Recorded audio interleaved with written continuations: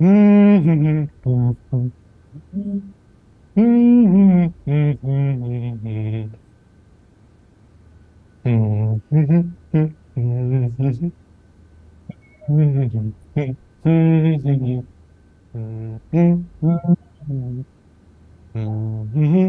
क्या कर रहे हो तुम? आपको क्या दिखाई दे रहा है? आसार तो अच्छे दिखाई नहीं दे रहे। हम्म, तुम्हें पहले से पता था ना? क्या? कि एहसान अंकल दानिया की शादी डिले कर रहे हैं? पता तो नहीं था लेकिन हाँ मुझे आइडिया था। इसीलिए तुम खुश हो रहे हो इतने। शर्म कर लो मोहम हमारी कज़न है। तो क्या माम हमेशा कज़न नहीं रह सकती? तो मतलब? मतलब ये है आप ही कि जैसा चल रहा है वैसे चलने दीजिए। कोई बदतमीजी नहीं करना। आप ही मैंने आज तक बदतमीजी की है जो मैं करूँगा। हाँ ठीक है।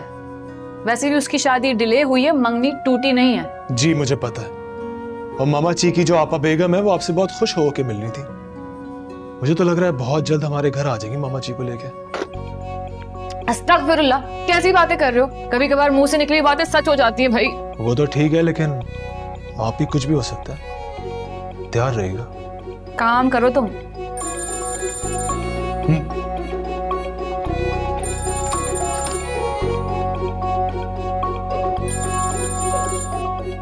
अस्सलाम दानिश मैं सवेरा बात कर रही हूँ। रोहान की मम्मी सवेरा आंटी कैसी हैं आप? मैं बिल्कुल ठीक हूँ। वो भी जान बता रही थी बेटे कि तुम्हारी बहन डिज़ाइनर है? जी आप ही बहुत अच्छे कपड़े डिज़ाइन करती हैं। आप आप घर आ जाएँ कभी भी? अम, तुम मुझे लोकेशन भेज दो तो मैं चक्कर लगाऊँ? जी मैं आपको पिन लोकेशन भेजता हूँ जब दिल चाहे आप घर आ सकती हैं। बस ठीक है तुम लोकेशन पिन भेजो फिर मैं एक दो दिन में चक्कर लगाती हूँ। ओके ठीक है। खुदा हाफिज। खुद बना लेना तुम इनके कपड़े। मैं जा रही हूँ कराची छोड़ के। आप ही क्या हो गया? इतना अच्छा लड़का तो है। खंबे जैसी तो हाइट है उसकी। खड़े खड़े छत और पग साफ़ कर देता है। अपना खुद का कारोबार है। लंडी का काम करता है तो क्या हुआ? गरीब आवाम की तो मदद ही कर रहा है ना? और वैसे भी यतीम है।